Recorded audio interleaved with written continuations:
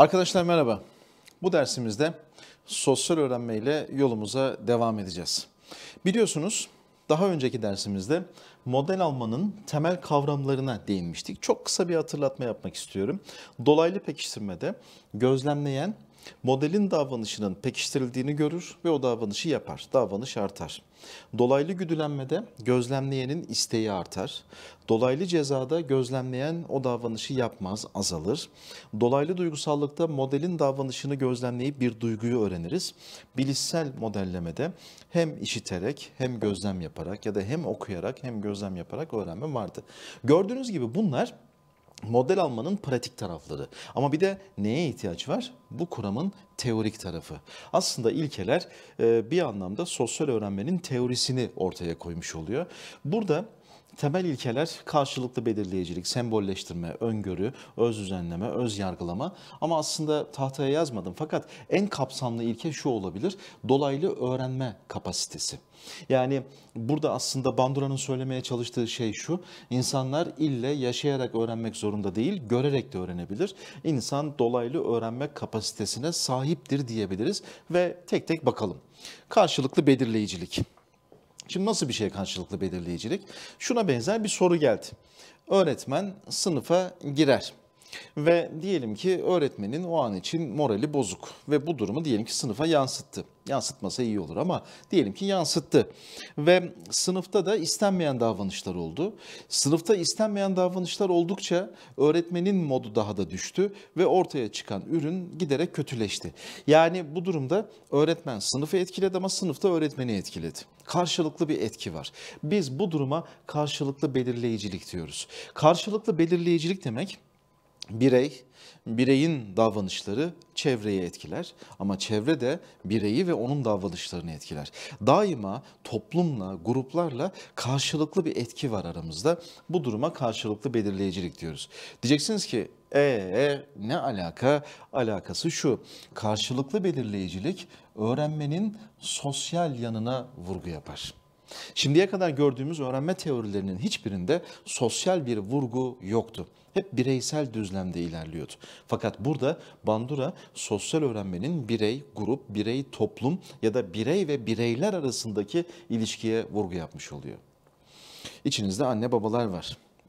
Şimdi e, çocuk doğduğunda çocuğun tutum ve davranışları aileyi seferber eder, etkiler. Ama aynı zamanda ailede pek çok şeyi tetikler. Yani mesela işte strese dayanma gücü, engellenmeye dayanma gücü, uykusuz kalmak, anne baba geceler boyu uykusuz kalır. Bu bazen öfkeyi tetikler, bazılarında sevgiyi, şefkati tetikler ama bir şeyleri tetikler. Şimdi çocuğun tutum ve davranışları anne babayı etkiliyor. Fakat anne babadan da bunun çocuğa bir geri dönüşü var. Sevgi ve şefkat olarak geri dönüyorsa çocuk pozitif etkilenir. Ama öfke, ceza, ya da ilgisizlik olarak geri dönüyorsa çocuk bu durumdan olumsuz etkilenir. Yani bir kişinin aileye katılması bütün aileyi etkiler. Ama o ailede aynı zamanda o kişiyi etkiler. Bu durum nedir yine? Karşılıklı belirleyicilik. Bazen bir grubun hızını bir kişi etkileyebilir. Yani bir kişinin yüz ifadesi, tutumu, ses tonu, tavrı, tutumu grubun modunu düşürebilir. Grubun modu düştükçe öfke ya da olumsuz duygular artar bu da o kişiyi etkileyebilir. Bazen sınıflarda yaşıyoruz. Mesela işte oluyor yani hepimizin zaman zaman moralinin bozulduğu, öfkeli olduğumuz zamanlar oluyor ama e, bir araya geldiğimizde galiba asgari düzeyde kendimizi yönetmek önemli bir şey. Yani bir grubun ortasına girip kös kös oturmak biraz bencil bir davranış. Yani grubun ortasına girdiğinizde birazcık gruba karşı sorumluluğumuz var. Yani daha yapıcı davranmamız gerekiyor. Ama diyelim ki ne oluyor? Bazen hissediyoruz. Sınıfa bir öğrenci giriyor kahkahalarla gülen bir sınıf o bir öğrencinin gelmesiyle birdenbire kahkahalar ortadan kalkıyor. Nasıl olabilir? Birey ve grup arasında öyle bir ilişki var ki ee, bazen o duygusal durum gruba yansıyor. Grubun öfkesi o bireye yansıyor. Bir bakıyorsunuz grup patlamak üzere. Bu durum neyle açıklanır? Karşılıklı belirleyicilik. Pikniğe gidiyorsunuz diyelim ki piknikte e, bir kişinin ya da birkaç kişinin duygu durumu bütün grubu etkileyebilir. Bütün grup o kişiyi etkileyebilir. Bütün bunlar sosyal olarak karşılıklı belirleyicilik. Bir diğeri sembolleştirme kapasitesi. Şimdi sembolleştirme ne demek? Sembolleştirme nerede olur? Tabii ki zihnimizde olur. Dikkat edin. O zaman bununla Bandura aslında neye vurgu yapmış oluyor? Öğrenmenin bilişsel yanına vurgu yapmış oluyor. Kişi model aldığı davranışı yapana kadar nerede muhafaza edecek? Zihninde. Yani örneğin diyelim ki işte maça gittiniz ve futbolcu öyle bir hareketle gol attı ki hareket sizi çok etkiledi. Ve gol o kişi için pekiştireç. Şimdi siz de o davranışı yapmaya istek duyuyorsunuz. Bu nedir? Dolaylı güdülenme. Fakat o an siz tribünlerdesiniz. Aynı hareketi yapamazsınız. Sahaya ine, ineceğiniz zaman gelecek. Belki birkaç gün sonra, belki bir hafta sonra. E bir hafta boyunca o hareket nerede kalacak? Zihnimizde. Biz onu zihnimize kaydederiz. Zihnimizde depolarız. Sınavda gelebileceği ifadeler. Zihnimizde şemalaştırırız. Bakın zihnimize kodlarız. Bütün bunlar sembolleştirmenin açılımlarıdır. Bu kavramları unutmayın.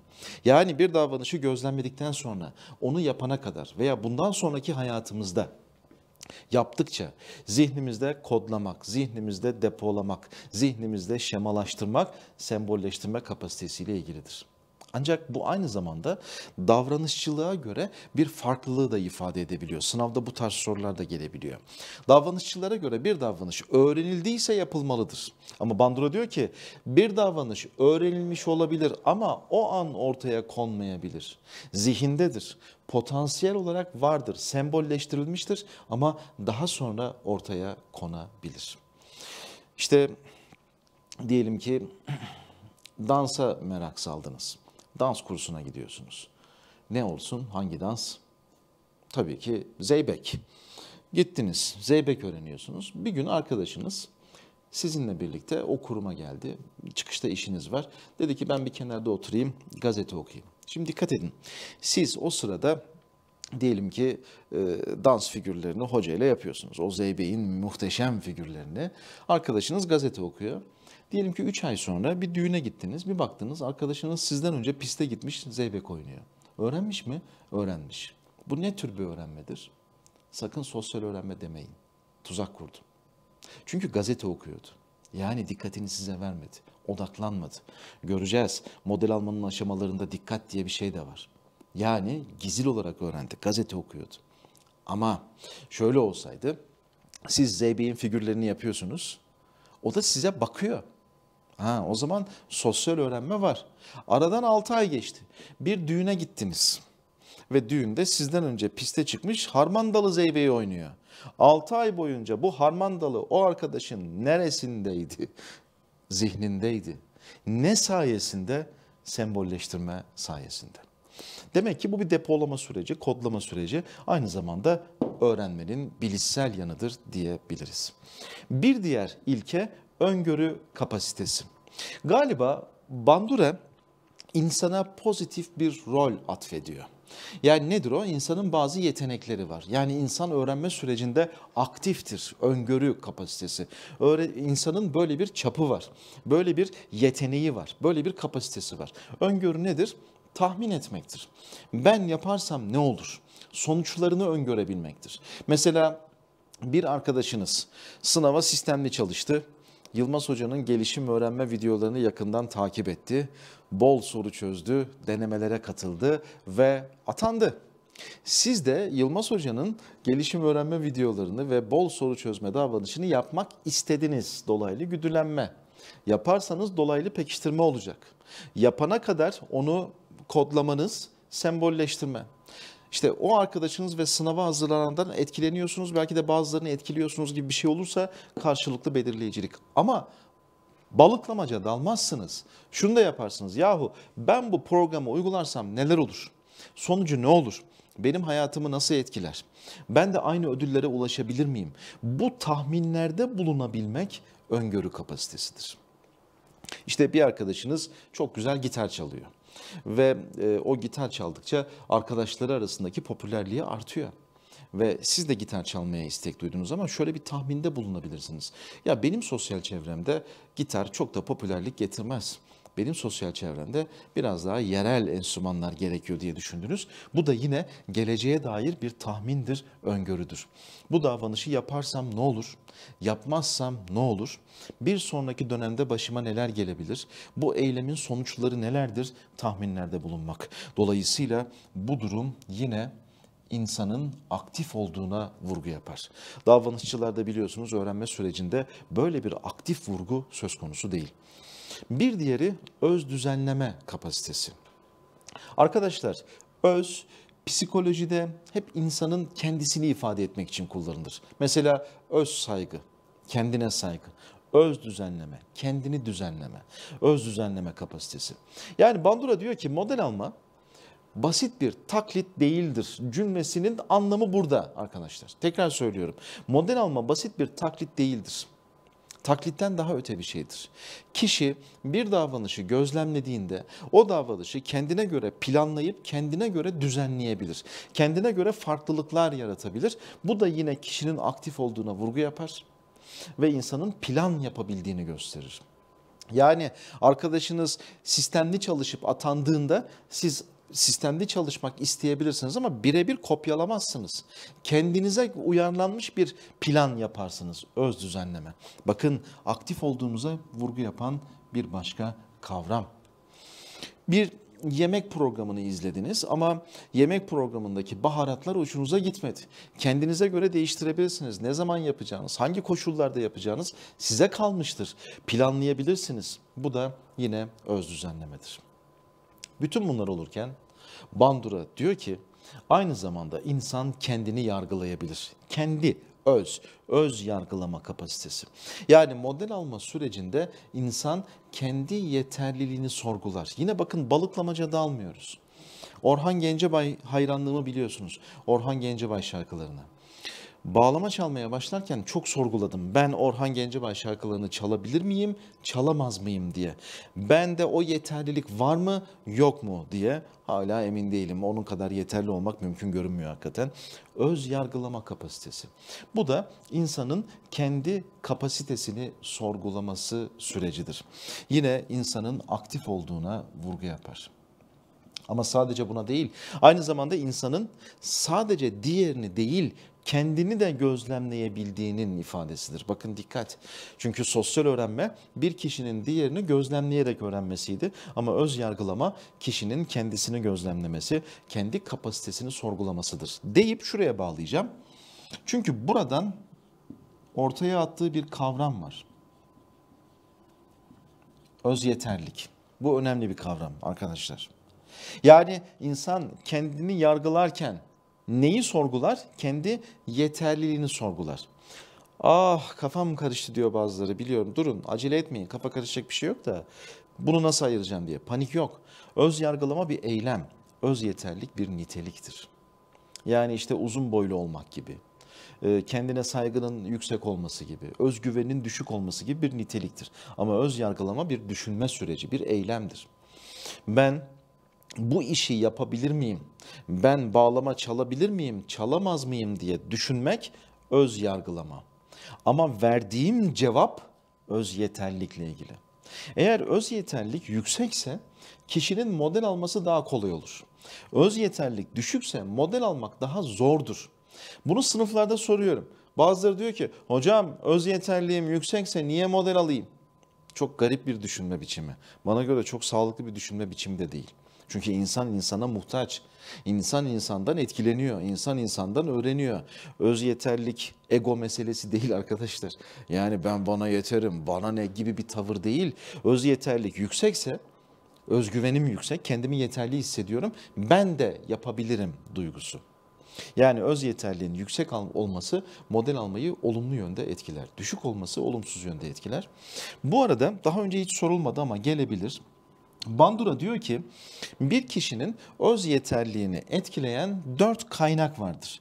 Bunlardan biri kişinin içinde bulunduğu psikolojik durumdur arkadaşlar.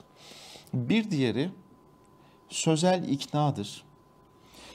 Bir diğeri dolaylı yaşantılardır. Bir diğeri de doğrudan yaşantılardır. Bunu unutmayın.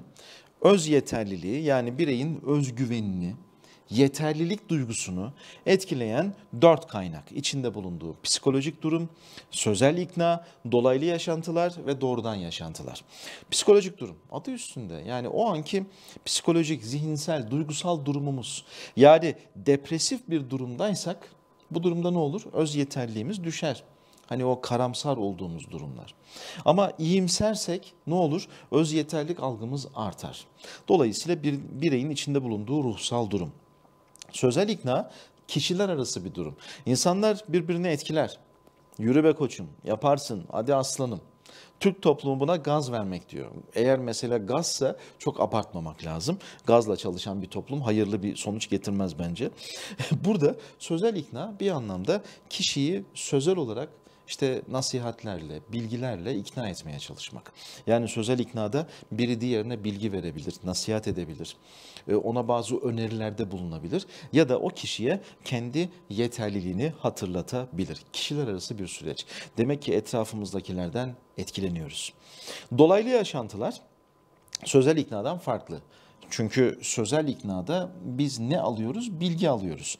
Dolaylı yaşantıda ne yapıyoruz? Bir başkasını gözlemliyoruz. Yani onu model alıyoruz. Yani dikkat edin model aldığınız kişiler sizin yapabildikçe sizin yeterlik algınızı olumlu yönde etkiler. Ama eğer yapamıyorsanız olumsuz yönde etkiler. O yüzden dolaylı yaşantılar da etkili.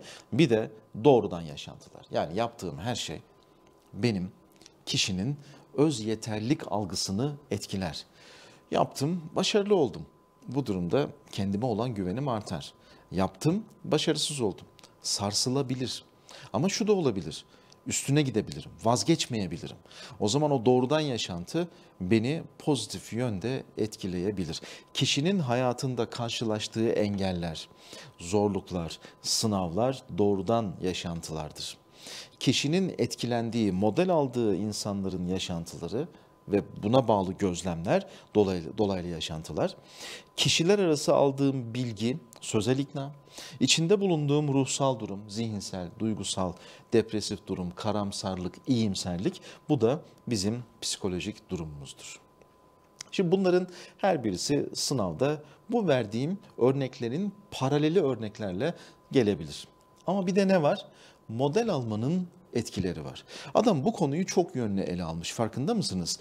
Yani pratikte hangi kavramlar uygulanıyor? Bu kavramların ilkeleri nedir? Bir de model almak ne gibi insanlar arasında etkilere neden olur? Gelin bunlara da bir bakalım. Engelleyici etki, destekleyici etki, tepki kolaylaştırıcı etki, çevreye ilgi artırıcı etki ve duygu yoğunlaştırıcı etki olmak üzere 5 tane etkimiz var. Şimdi diyelim ki sınıfta bir öğrenci istenmeyen davranışlar yapıyor. Konuşuyor, gürültü yapıyor, kurallara uymuyor. Bizim kültürümüzde vardır ya, bin nasihattense bir nusubet. Bunlardan bir tanesini derler. Hani anladınız. Öğretmen diyelim ki o bir tane e, yaramazlık yapan kişiye kızdı.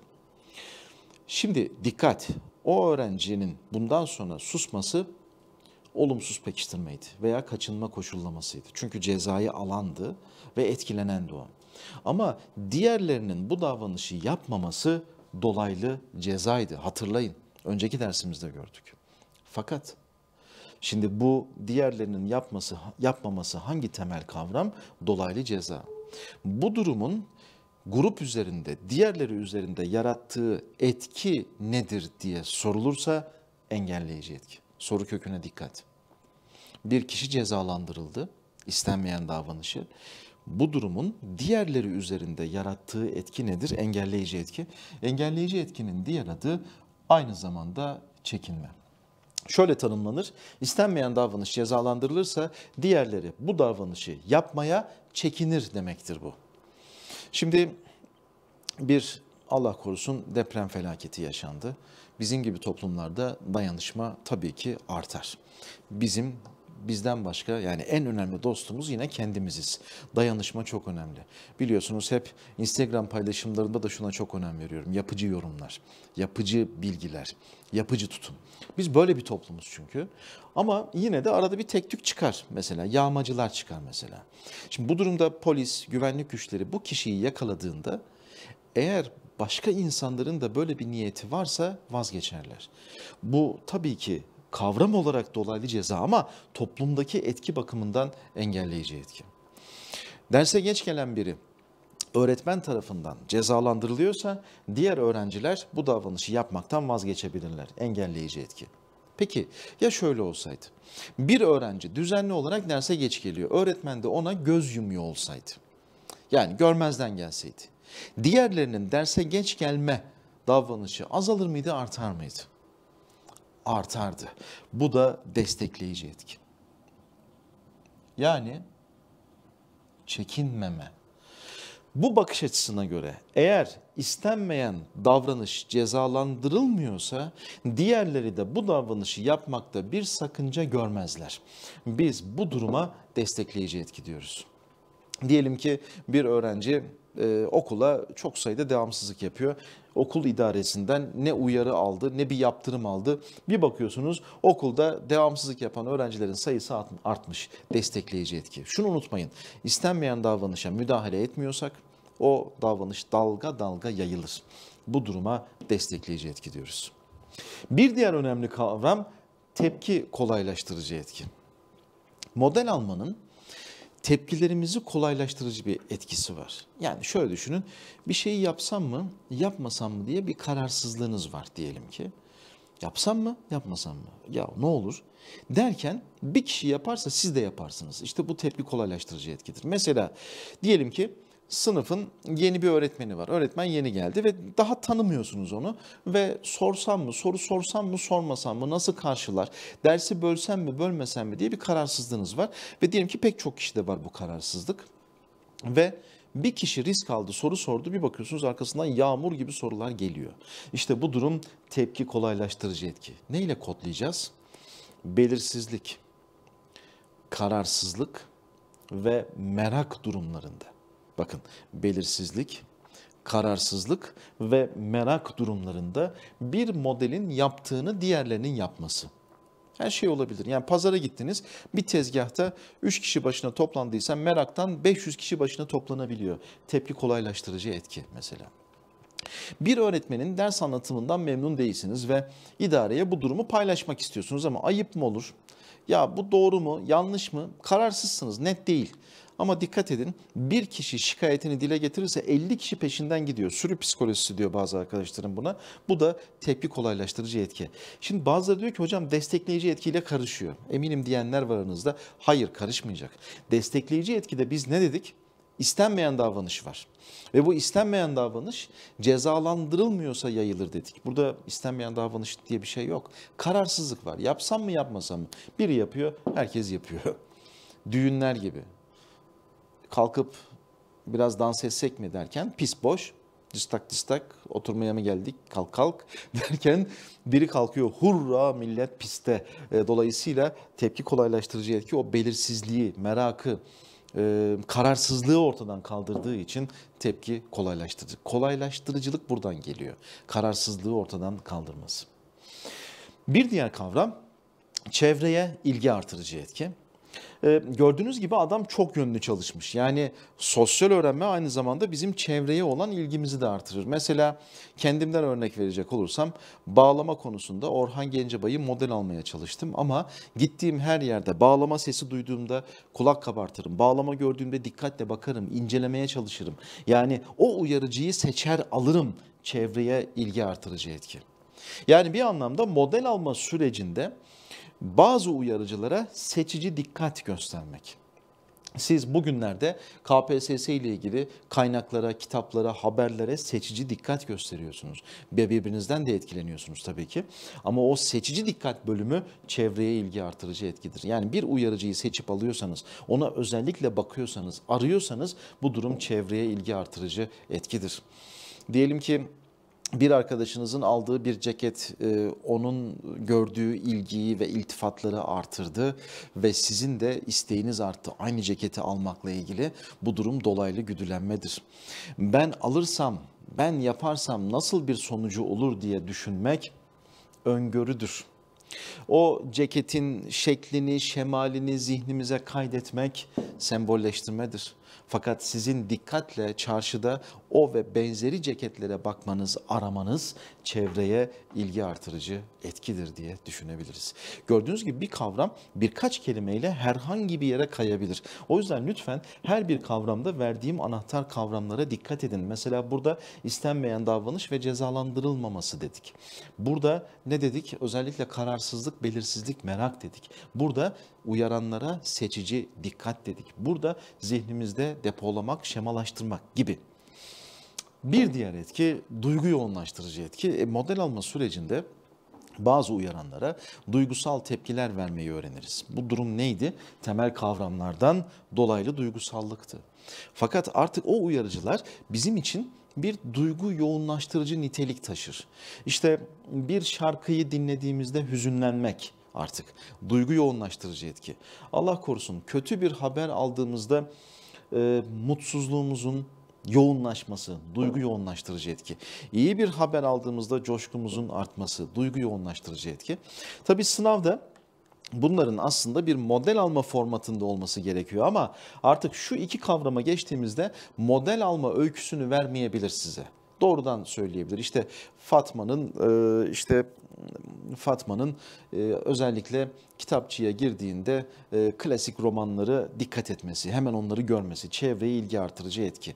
E, işte Ali'nin arkadaşları ile ilgili bir dedikodu haberini aldığında bu konuda e, üzüntüsünün artması, duygu yoğunlaştırıcı etki. Yani o duygunun nasıl bir model alma süreciyle öğrenildiğini o öyküyü size vermeyebilir. Bir uyarıcı duyguları harekete geçiriyorsa duygu yoğunlaştırıcı etki, bir uyarıcıya seçici dikkat gösteriyorsak çevreye ilgi artırıcı etki. Bandura'nın önemli bir bölümünü bitirdik. Bir dahaki dersimizde model almayı etkileyen faktörlerle yolumuza devam edeceğiz. Görüşmek üzere arkadaşlar.